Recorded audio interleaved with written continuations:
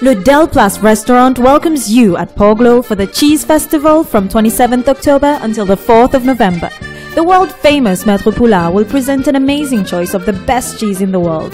Appreciate wonderful cheese plates starting at only 350 rupees. Spend a good time with a great service. Don't miss this third edition of the Cheese Festival.